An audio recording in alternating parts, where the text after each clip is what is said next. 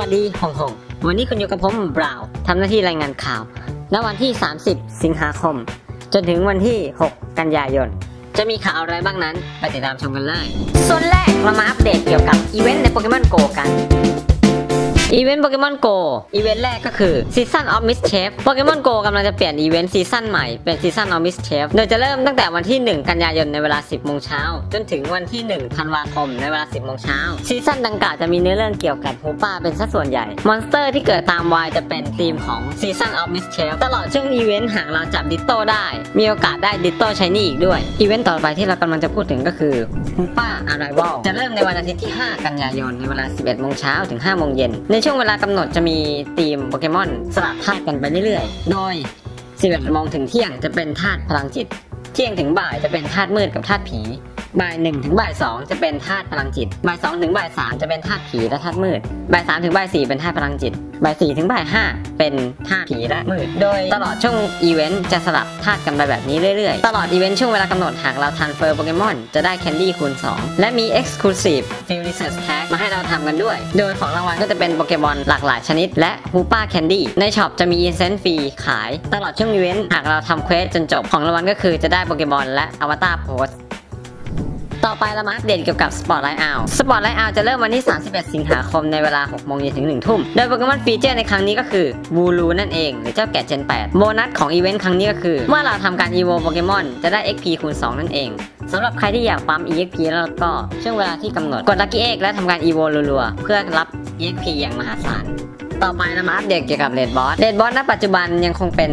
ซามาเซนต้าและจะเป็นซามาเซนต้าไปจนถึงวันพุธที่ 1 กันยายนในเวลา 10 โมงเช้า และ หลังวันพุธที่ 1 กันยายนในเวลา 10 โมงเช้า จะเป็นลูเกียเข้ามาแทนที่ โดยลูเกียจะอยู่กับเราจนถึงวันอังคารที่ 14 กันยายนในเวลา 10 โมงเช้า ในช่วงเวลากำหนด หากเราทำการโค่นล้มลูเกียได้มีโอกาสได้รับ shiny และท่าพิเศษ Aeroblast ด้วย ส่วน mega raid นั้น ปัจจุบันยังคงเป็นเมกาพีจอร์และจะเป็นเมกาพีจอร์ไปจนถึงวันพุธที่ 1 กันยายนในเวลา 10 โมงเช้า หลังจากนั้นจะเป็นเมกาสโลว์โบรแทน โดยเมกาสโลว์โบรจะมาแทนที่ตั้งแต่วันพุธที่ 1 กันยายนในเวลา 10 โมงเช้าจนถึงวันอังคารที่14กันยายนในเวลา 10โมงเช้านั่นเอง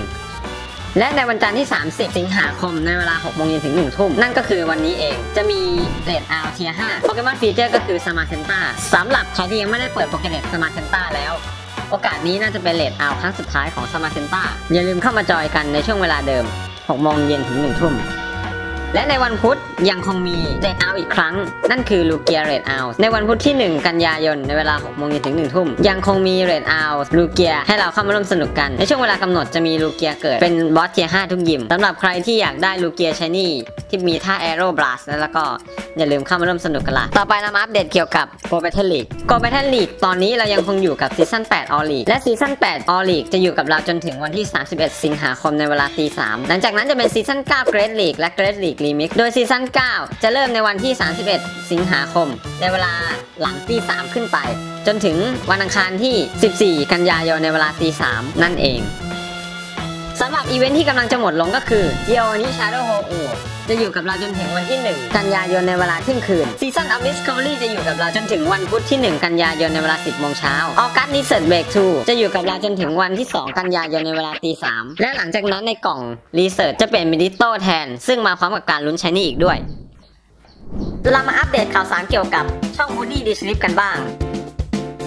สำหรับ week นี้มี Raid Hour 2วันก็คือวันจันทร์และวันพุธ เดี๋ยววันจันทร์จะเป็นสมาร์เซนต้าสำหรับใครที่อยากตีสมาร์เซนต้าแล้วแล้วก็อย่าลืมลงทะเบียนในเวลา4โมงเย็นถึง6โมงเย็นด้วยล่ะ และวันพุธจะมี Raid Hour อีกรอบหนึ่งก็คือ Raid Hour ลูเกียนั่นเอง เช่นเคย อย่าลืมลงทะเบียนในเวลา4โมงเย็นถึง1ทุ่มเพื่อมาเข้าร่วมตีบอสลูเกียกันด้วยล่ะ และวันอังคารยังคงมี stream Spotlight Hour วูลูสำหรับใครที่อยากมานั่งเม้าท์มอยแล้วละก็ในช่วงเวลากำหนด อย่าลืมเข้ามา join stream กันด้วยล่ะ ในช่วงเวลาเดิมนะจ๊ะ6โมงเย็นถึง1ทุ่มอย่าลืมล่ะและในวันที่ 5 กันยายนในเวลา 11โมงเย็นถึง5โมงเย็น ยังคงมี stream Hoopa's Arrival สำหรับใครที่อยากเข้ามาร่วมขิง shiny หรือว่าเข้ามาจับร่วมกันแล้วละก็วันอาทิตย์ในเวลา 10โมงเช้าอย่าลืมเข้ามาร่วมสนุกกันละสุดท้ายแต่ไม่ท้ายสุดเพื่อนๆอาจจะเห็นผมมานั่งอัปเดตข่าวสารในโปเกมอนโกแบบนี้เพราะอะไรเพราะผมถูกจ้างให้มาอ่านด้วยค่ากระดูก3ชิ้นและกับอีก2น่องหากเพื่อนๆชอบใจแล้วก็ อย่าลืมกดไลค์กด subscribe ให้ช่อง Woody d i s h l i p ด้วยล่ะ สุดท้ายนี้ก็ขอบคุณมนุษย์ผู้ออกแบบอารีทุกท่านที่เข้ามารับชมในคลิปนี้ และพบกันใหม่ในด็อกข่าวโปเกมอนโก Weekly News ในสัปดาห์หน้า ผมบราวน์หน้าที่รายงานข่าว ขอตัวลาไปก่อน สวัสดีฮงฮง